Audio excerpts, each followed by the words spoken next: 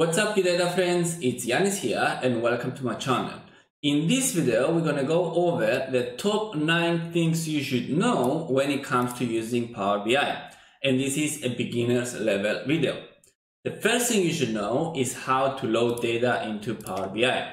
Now, if you open a new blank Power BI file, you're gonna see this, and then if you click over Get Data, you're going to see all these options over here. Power BI supports a lot of different data sources. There's even more down here. So whether your data is on Azure or on Google or on Amazon or in an SQL server or in Excel files, wherever it is, Power BI can create a connection and load the data into Power BI. For our use case, we're going to use an Excel workbook to showcase how you can load it in. So if we click connect and then we click over here, all files, because I need a CSV file, click on the YouTube car main, click open. Then we see this, which is basically a snip of our data, the first 200 rows, just to make sure it's correct. Click load over here and under data now, we're gonna have a new table. You can see it's creating it in the data model. And there you go, we have our table in. The next thing you should know is how to use Power Query Editor in order to edit your raw data.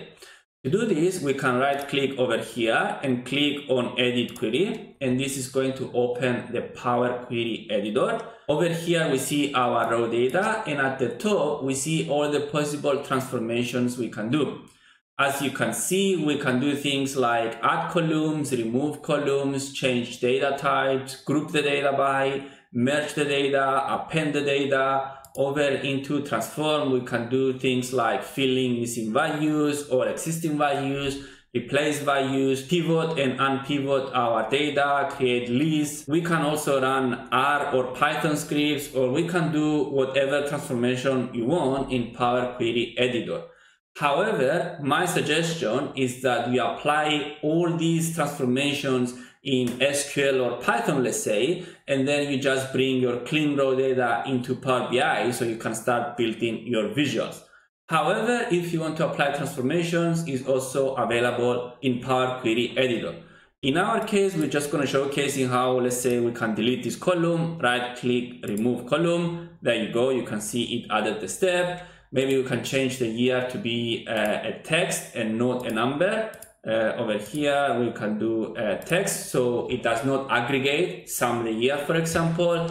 And then we can make sure that retail price and invoice price, both of them are uh, decimal numbers. And then you can see we get an error over here because we have the dollar sign. So what we can do now, you can see the step over here. We can remove this step and you can see it came back correct and I'm just going to select retail price now and change this to a decimal number. The next thing we want to do now is click close and apply and this is going to apply all the formatting we have just applied in our raw data. The next thing you should know is how to join your data together. So if you click over here in model view, this is where you can create your data model, which means that you can bring multiple different data sources together and then join them together. However, in our case, we only have one table over here, which is the table we have just loaded before. So I am going to load another table to showcase the joins. So I'm going to click uh, over here, uh, click all files, and then I'm going to select the car info table. This is the first 200 rows. I'm going to click load, and this should appear over here. There you go. As you can see, Power BI itself identified the join column, so the key column, However, I'm going to delete it so I can showcase it again. So as you can see, we have these two tables, these two tables over here, and they are columns. If I want to visualize them, I can go over in table view and I can click over them so I can visualize them. As you can see, both of them have index column, which is basically our key column we're going to use to join them together.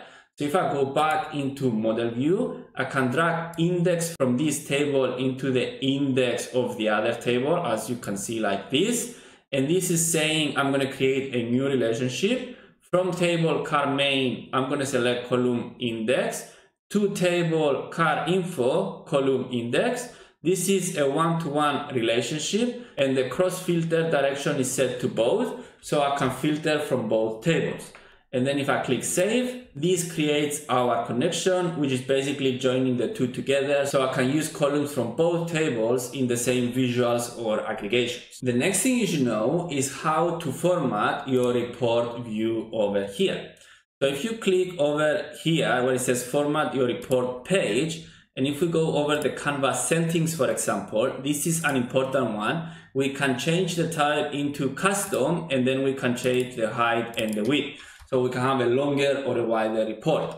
Another important thing is the background, which I always change. So maybe this light gray over here and then set transparency to zero and you can see this is a light gray. Another important thing you should know before we start creating our visuals is how to create this text box over here because these are going to be the boxes that you have your titles, for example, or your section separations. The next thing you should know is how to create your visuals over here.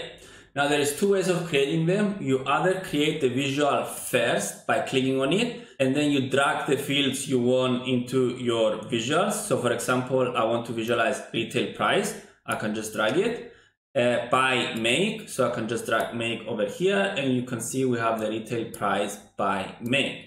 Another way of creating the same visual is by clicking on make for example and you can see this created a table itself then we can click on retail price and it added the retail price on the table if I move it over here.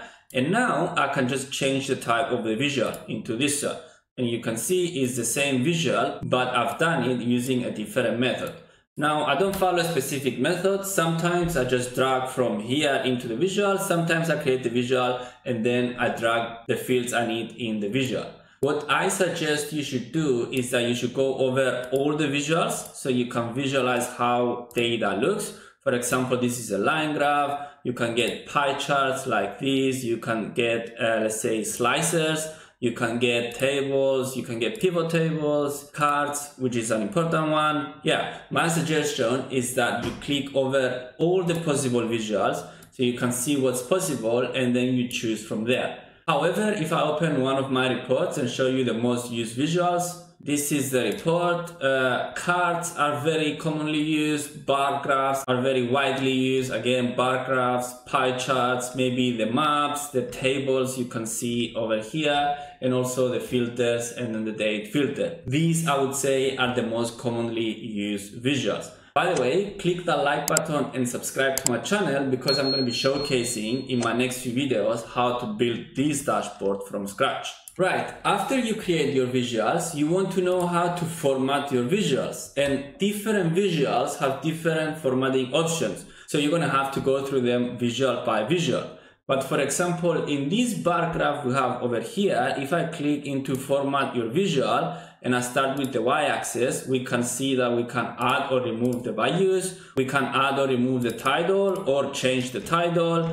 Uh, what's important? Change the coloring for example into let's say this color over here. We can add a border. We can also add the data labels down here. I don't know if you can see them because i think i'm on the way so i'm just going to make it a bit smaller uh, and then like this. So now maybe it's visual. Add the where is it? The data labels uh, click on. You can see we have the numbers. We can change the color of the data labels to let's say this color over here. We can make it bold. We can change the size. And then we can also go over into general and then add some effects on our visual. So we can add the shadow. As you can see we have some sharp edges now. And then we can also edit the title. So change our title. Move the title to the middle make it bold and make the font higher let's say up up like this.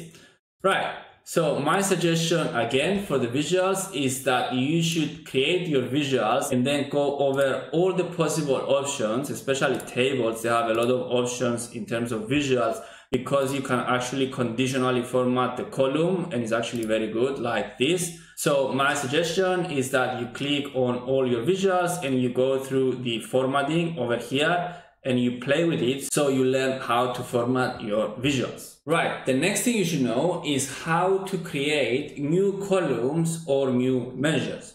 To do this, we're to go over into table view. We are to select the YouTube car info table and we want to extract, let's say, the horsepower number from this horsepower column. To do this, we need to right click on our table, create a new column. You can see we have the new column. We're going to name this new column as uh, horsepower NO, which is the number, equals, we are going to use the left of the horsepower column. So uh, horsepower over here, comma 3, click enter.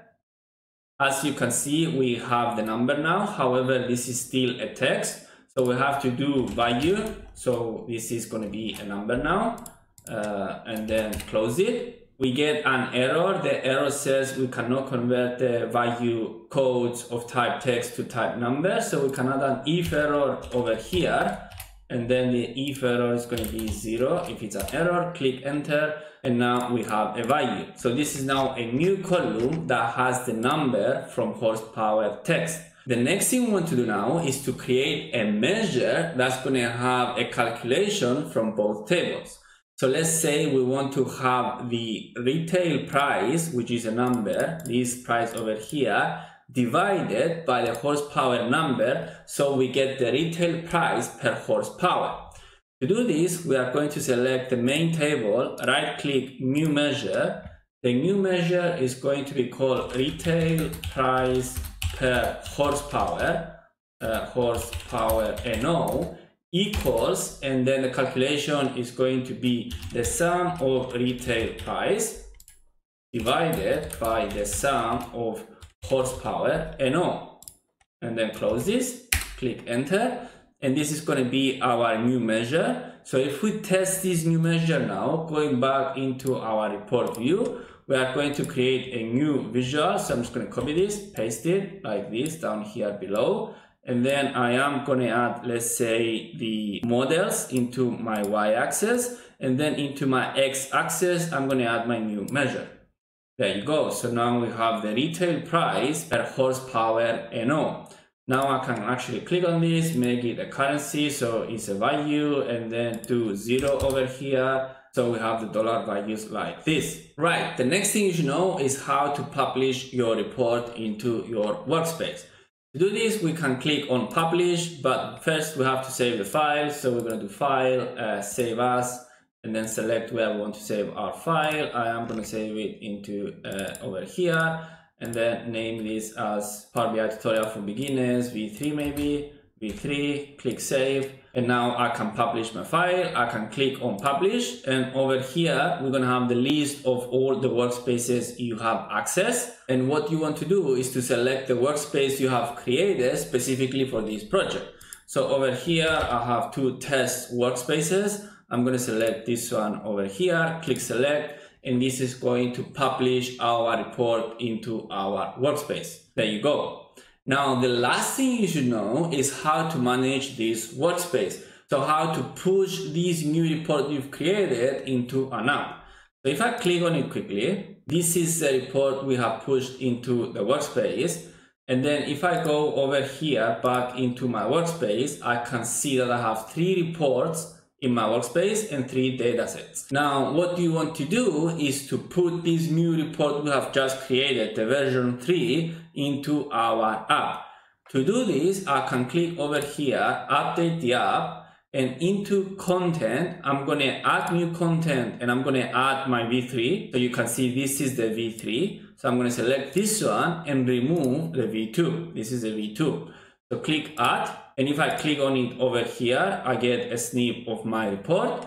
And then in the audience is where you want to add all the emails of the people that are going to have access into this app. After you add all the emails that need access into this app, you can click on update app. However, it doesn't let us because we need to make it visible. As you can see, it's not visible. Now it's visible. Now I can click on update and this is going to generate a link. So this is the link I can now copy and send it over to my stakeholders so they can click on it, access our report and get their insights. Right, so these are the top nine things you should know when it comes to Power BI. I hope you've enjoyed this video and you've gained enough value out of this video. If you feel like you did, then please click the like button, subscribe to my channel and enable notifications for my future videos.